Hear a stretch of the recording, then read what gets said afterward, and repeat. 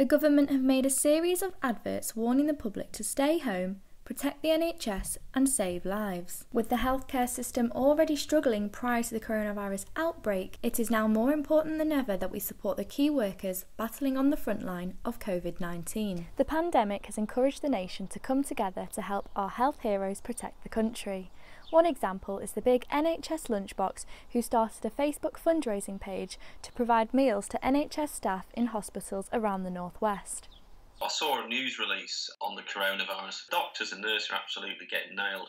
You know, they weren't getting a break during a 12 hour shift and stuff. And I just thought, how can we help? Um, so our friends own uh, two Subway franchises, but they've managed to open their kitchen up. So I thought, well, it's, it's no brainer. It's not easy getting into the NHS because they want to know what's in it. Do the sandwiches themselves contain coronavirus? And this is all for charity, you know, at the end of the day.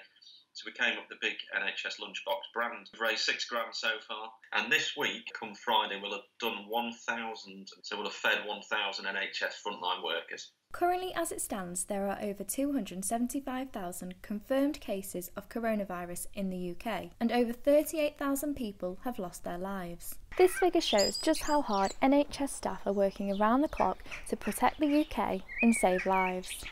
Important is it for the UK that we have a state funded provider rather than privatised hospitals during the coronavirus pandemic? We are in a country that is the majority of people are what you class as maybe working class or lower middle class. The majority of people are on a, a lower income. When it comes to healthcare, you shouldn't be putting a price on it. Currently, in the coronavirus, it, it's just become so obvious, hasn't it, how much we need the healthcare system uh, at the drop of a hat I couldn't imagine what it'd be like to have that panic and then go, where can I go? Who can I talk to? We can. If I let's say I found out now, I know for a fact there'd be a helpline I could call. There's an app being developed via the NHS and the government. I could go to my doctors, which is just down the road. I could go to A&E at any moment, and I don't even think about that. If we didn't have that, I, I, I honestly think we'd see double, triple the, the numbers. A survey by Unison has shown that NHS staff are overworked and underpaid with four in five NHS workers saying they have to work more for less money. Chloe, you're a nurse on a COVID ward at the moment. Do you think social media has brought people together to respect the NHS more?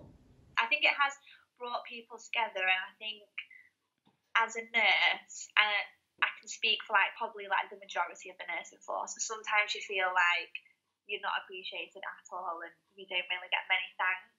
But I feel like now all this has happened, hopefully it'll make people realise that we are like severely undervalued and they'll think that yeah, they do actually do an alright job.